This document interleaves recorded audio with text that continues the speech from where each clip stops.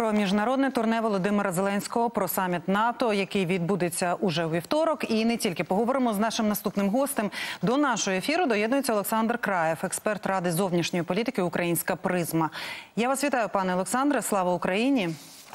Героям слава, добрий вечір вам. І одразу пропоную почати з великої події для всієї України, яка особисто мене приголомшила. Вона, я гадаю, є і знаковою у геополітичному значенні. От попрошу вас підтвердити це повернення саме всіх п'ятьох командирів Азову і морпіхів до України.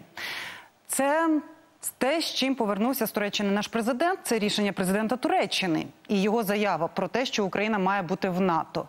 Як ви їх оцінюєте? Що це для Росії? Який сигнал?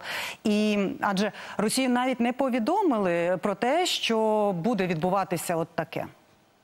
Ердоган продовжує гнути свою лінію, і на щастя, цього разу він гне цю лінію в нашу сторону. Тобто, ми пам'ятаємо, що саме Туреччина була в першу чергу тією країною НАТО, яка могла чітко вказувати Росії на її місце, яка дійсно могла ставити Росії певні умови, яка могла з нею торгуватися на рівних і не боятися навіть найбільш жорсткої реакції зі сторони Москви. Ердоган ще раз вирішив підтвердити свій такий статус, свої назвемо це м'яко особливі відносини з Москвою, що дійсно лише він може себе так вести з росіянами. Тому насправді це був е, дуже позитивний для нас сигнал. Перед Вільнюсом це було надзвичайно корисно, що Туреччина, яка як ми пам'ятаємо, блокувала і Фінляндію, і Швецію, тепер погоджується на членство України. Це дуже правильний, дуже потужний сигнал для всіх союзників. Звісно, нам не треба розслаблятися, бо Ердоган в першу чергу веде власну політику. Він не підіграє нікому. Він зацікавлений в своїх інтересах. Але на даному етапі це дійсно величезний величезний позитив. От ви е, вже згадали Туреччину щодо НАТО і України. От Туреччина, яка заблокувала вхід у НАТО Швеції, каже так Україні. Але при цьому напередодні саміту ми чуємо, що цей процес може заблокувати інша країна Німеччина. Шольц пропонує замінити вступ гарантіями безпеки. Це такий острах війни з Росією, е, в яку буде втягнутий весь світ. Однак, от чи не є це проявом поступливості перед тероризмом? Бо саме такий шантаж Путіна є фактично тероризмом. Чи не демонструє таким чином Європа свою слабкість, якою може скористатися Путін? Насправді поки що цю слабкість демонструє по суті Німеччина, тому що якщо ми подивимось на Францію, цього особисто я, наприклад, від Макрона не очікував. Але Макрон зараз є одним з ключових пропонентів, тобто тих, хто підтримує українського членства в НАТО, причому якомога швидше. Те ж саме стосується центрально-східної Європи, те саме стосується Балтії, те ж саме можемо сказати про Італію, тобто. В більшій своїй частині Європа є проукраїнською. Європа готова до жорстких рішень і рішучих кроків. Але ми бачимо, що Німеччина вона досі ще знаходиться в процесі цього свого повороту до більш оптимальної, більш сучасної зовнішньої політики. І на жаль, так вони не встигли цей поворот здійснити до саміту. З іншого боку, штати президент США каже, Україні потрібно запропонувати раціональний шлях кваліфікації. Розшифруйте, можливо, що це означає, що може вміщувати це в себе в собі. По суті, це означає зараз. Ми не готові приймати Україну, тому що не вирішили питання з Китаєм. Але ми знаємо, що Україні треба відійти від ПДЧ. Україні треба якісь більш чіткі чітке розуміння того, як вона вступає в НАТО. Давайте їй дамо це розуміння, назвемо їх певними кваліфікаціями або певними кваліфікаційними гарантіями. Тобто, умовно кажучи, для України це. Е, чітка постановка того, яких е, досягнень, яких реформ нам треба досягти, до чого нам треба прийти в своєму військово-політичному розвитку, в своєму економічному розвитку, для того, щоб після перемоги стати членами НАТО. Тобто, е, перекладаючи на нормальну мову, ми маємо дати Україні адекватні нормальні гарантії, але членство прямо зараз дати їй не можемо. От міністр оборони Резніков він е, заявив останні одне з останніх його заяв, що аргументом таким, е, який має переконати альянс, може стати те, що у нас найбільш боєспособ, е, боєздатне військо. Як ви вважаєте, цей аргумент може змінити ситуацію і настрої? Е, скажімо так, з мого спілкування з американськими колегами, якраз по аналітичній спільноті, е, як вони мені казали, тут пряма цитата: ЗСУ може вступити в НАТО вже вчора. Тобто ЗСУ вже дійсно готові до того, щоб стати не просто частиною альянсу, а стати одним з ключових елементів безпеки для всього північно-атлантичного товариства. Великі питання за- залишаються лише до нашої суспільно-політичної, економічної системи, до судової реформи і всього іншого, тобто до позамілітарних аспектів. Але з військової точки зору Україна зараз переважає якістю, досвідом і навіть кількісно переважає більшість країн НАТО. І насправді ми станемо для союзу не черговою проблемою, ми станемо для союзу дуже потужним підсиленням. То які реформи можуть бути проти нашого вступу? Які ще не здійснені або результати? Що можуть назвати на саміті, що не дозволяє нам увійти в альянс?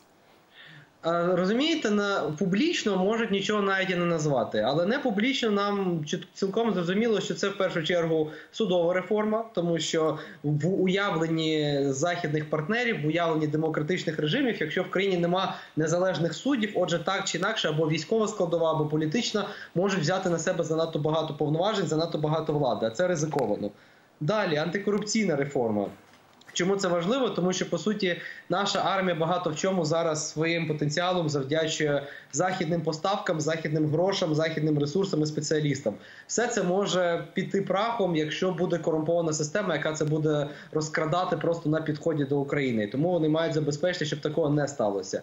І третій аспект, от третій аспект, якраз не один з найбільш успішних в нашому випадку, це питання цивільного контролю, цивільного менеджменту збройних сил. Тобто, це розподілення повноважень між цивільними посадовцями і військовими, розподілення менеджменту в межах Міністерства оборони, Міністерства закордонних справ і інших міністерств. В цьому напрямку у нас розвиток є. В перших двох, ну на жаль, ми поки на тому ж місці, де й були. Президент Сполучених Штатів е, Америки пропонує ізраїльську модель е, гарантій для України. Розшифруйте, а що це за модель? Ізраїльська модель Україні надаються вся зброя, яка потрібна, яка взагалі наявна на заході. Україні надається вся технічна, економічна, фінансова підтримка, підтримка ресурсами окремими, підтримка спеціалістами. Україні надаються гранти, додаткові фінансові кошти. Але поки що Україна не стає членом НАТО. Тобто ізраїльська модель це по суті та модель, яку з нами вже пропрацьовували всі ці півтора роки. Тобто повноцінна, повномасштабна, я сказав, підтримка по всім можливим напрямкам, але без гарантії членства. Тоді від е, чим це відрізняється від того, що ми вже маємо? І там, наскільки я розумію, є одна умова після завершення війни. Так само і ізраїльська. це відрізняється тим, що в цьому випадку нам просто скажуть, що ну ви таки да будете в НАТО. Тобто зараз у нас немає цієї гарантії. Зараз, якщо подивитися з точки зору міжнародного права, ми досі маємо втілювати ПДЧ. Ми досі маємо йти по плану дій щодо членства, через всі ці бюрократичні затвердження, процедури і так далі. В цьому випадку, якщо ми отримаємо чітку перспективу, що мовно, хлопці і дівчата, у вас зараз ізраїльська модель, але як тільки ви виганяєте останнього росіяна зі своєї території, ви стаєте членами НАТО. Якщо ми отримаємо такого типу план, це вже можна вважати непоганим досягненням. Тобто до завершення війни ця ізраїльська модель може бути імплементована. Так, ну абсолютно чітко вона і буде імплементована. Після завершення війни ми вже говоримо про повноцінне членство.